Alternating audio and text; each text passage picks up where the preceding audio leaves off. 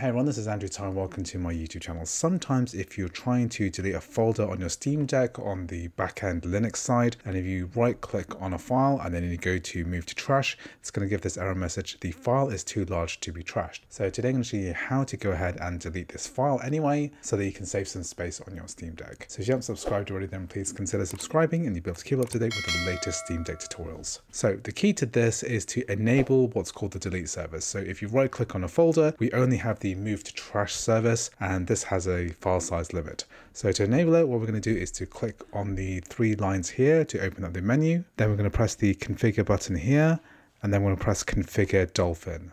Within configure Dolphin, we're going to press context menu and then what we're going to do is to enable the delete button. So here we're going to press OK. And the next time that we have a folder that we want to right click on or hold down on, we now have this option here which says delete rather than move to trash. That's going to delete that folder for us. So I'm going to press delete here and it's saying here, are you sure you really want to permanently delete this item? This action cannot be undone. So this is not just moving it to the bin where we can kind of restore it. This is going to be deleted permanently. So I'm going to press the delete button here and that's going to delete for certain. So now the folder is empty, so that file is now deleted from the Steam Deck. Anyway, I hope you found this video useful. If you did, please like, please subscribe, and I'll see you in the next video.